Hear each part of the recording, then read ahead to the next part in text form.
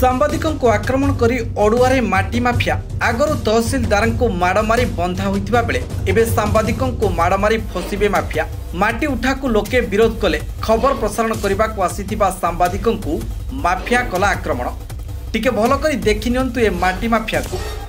ଏ ହେଉଛି ନଣ୍ଡା ଦାସ। ଘର କେନ୍ଦ୍ରାପଡ଼ା ଡେରାବିଜ ଥକେଇ ନେଉଳ ଗାଁରେ। ଦେଖିବାକୁ ସିନା ଭଦ୍ର ଭଦ୍ର ମୁଖାତଳେ ଏ ବାବୁଙ୍କର।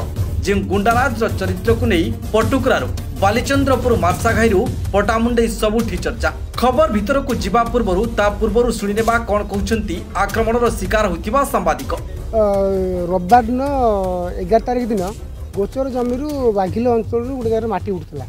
ଯାହାଫଳରେ ସେଠି ସ୍ଥାନୀୟ ଲୋକେ ତାକୁ ବିରୋଧ କରିଥିଲେ।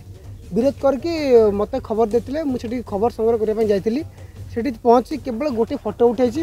ଭିଡ଼ିଓ କି ଉତ୍ତୋଳନ କରିଲା ସମୟରେ ଜେସିବି ଟ୍ରାକ୍ଟର ଯେଉଁ ବ୍ୟକ୍ତି ଜଣକ ମାଟି ଉଠାଉଥିଲେ ଏ, ସୁଶାନ୍ତ କୁମାର ଦାସ ଓରଫ ନଣ୍ଡା ମାଟି ମାଫିଆ ଜଣକ ସେ ସେଠାରୁ ସାଙ୍ଗେ ସାଙ୍ଗେ ପଳେଇ ଯାଇଥିଲେ ପଳେଇ ଗଲା ପରେ ଦୁଇ ଦିନ ତଳେ ମାନେ କାଲି ମୋତେ ମୁଁ ନ- କାର୍ଯ୍ୟ ସାରି ଫେରୁଥିବା ବେଳେ ତାଙ୍କ ଘର ପାଖରେ ଏକ ନିଛାଟିଆ ସ୍ଥାନରେ ମୋତେ ଅଟକାଇକି ଅ, ତୁ କାହିଁକି ମୋ ଗାଡ଼ି ଅଟକାଉଥିଲୁ କାହିଁକି ଫଟୋ ଉଠାଉଥିଲୁ ଅଶ୍ଳୀଳ ଭାଷାରେ ଗାଳି ଗୁଲଜ କରିବା ସହିତ ମୋତେ ଧକ୍କା ମାରି ମୋ ତଣ୍ଟି ଚିପି ମୋତେ ଆକ୍ରମଣ କରିଥିଲେ ଯାହାଫଳରେ ମୁଁ ୟାକୁ ନେଇ ଡେରାବିଜ ଥାନାରେ ଲିଖିତ ଅଭିଯୋଗ କରିଛି।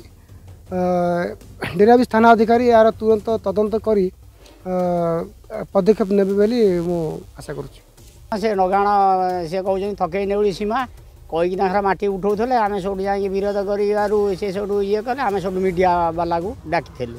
ଜମିଟା ହେଉଛି ଗଭର୍ଣ୍ଣମେଣ୍ଟର ସେଟା ହେଉଛି ଗୋଚର।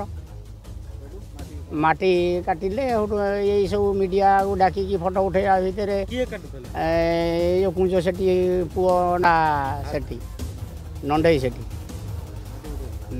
মিডিয়া ডাকিলু আমি কহিলু কম মাটি উঠাউছেন গোছরু সেটু সেই সেতি সময়ের যাই পৌঁছলে মিডিয়া গলা সেটু সেই সব মিডিয়া যেমন দেখিলে ফটো উঠাইবা মিডিয়া বালা যেমন ফটো উঠাইলে সে সবু কম কলে পলাই পালাই গলে ଗଲେ ଭିତରେ ତାପରେ ସେ କାଲି କ'ଣ ଆଉଥିଲା ତାଙ୍କ ଘର ବାଟେ ସେ ଟୋକା କ'ଣ ମାରିବାକୁ ମାଇଲା ତ ଆଉ। ଇଏ ତ କହୁଛି ଆଉ ଆମେ ତ ମାରିବା ଭିତରେ ଦେଖିନୁ। ସେ କହୁଛି କଣ୍ଠି ଫଣ୍ଠି ଚିପି ଦେଇଛି ମାରି ଘଟଣାକ୍ରମ ଏମିତି ଥିଲା। ମାଟି ମାଫିଆ ନଣ୍ଡା ଡେରାବିସ୍ କାଉପଡ଼ା ଗୋଚର ଜମିରୁ ମେସିନ୍ ଲଗାଇ ମାଟି ଉଠାଇଥିଲା। ଯାହାକୁ ନେଇ ସ୍ଥାନୀୟ ଲୋକେ ତୀବ୍ର ବିରୋଧ କରିଥିଲେ। ଖବର ପାଇ ସ୍ଥାନୀୟ ସାମ୍ବାଦିକ ସର୍ବେଶ୍ୱର ମଲ୍ଲିକ ଖବର ସଂଗ୍ରହ କରିବାକୁ ଯାଇଥିବା ବେଳେ ଘଟଣାସ୍ଥଳରୁ ମେସିନ୍ ନେଇ ମାଫିଆ ଚାଲି ଯାଇଥିଲା ତେବେ ମଙ୍ଗଳବାର ଦିନ ସାମ୍ବାଦିକ ସର୍ବେଶ୍ୱର କାମ ସାରି ଘରକୁ ଫେରୁଥିବା ବେଳେ ମାଫିଆ ଆକ୍ରମଣ କରିଥିଲେ ଯାହାକୁ ନେଇ ଡେରାବିସ୍ ଥାନାରେ ଲିଖିତ ଅଭିଯୋଗ ହୋଇଛି। ତେବେ ଥାନାରେ ଲିଖିତ ଅଭିଯୋଗ ପରେ ପୋଲିସ କେବେ ମାଫିଆଙ୍କ ବିରୁଦ୍ଧରେ କାର୍ଯ୍ୟାନୁଷ୍ଠାନ ଗ୍ରହଣ କରୁଛନ୍ତି ତାହା ଦେଖିବାକୁ ବାକି ରହିଲା। Bureau report NNS Odia